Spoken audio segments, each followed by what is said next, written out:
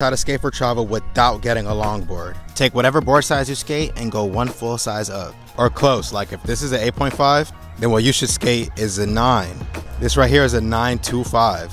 If we're talking about wheels, getting oversized rubber wheels like longboards will cause you to need to get huge risers so you don't get gnarly wheel bite. And it's gonna make your board considerably heavier. If this doesn't match the wheel size you want, you can pick you up a hybrid wheel like this one.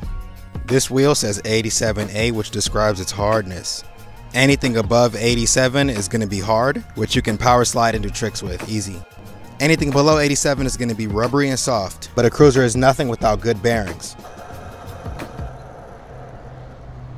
These barely spun, but but I'm about to set up the best bearings in the world coming next.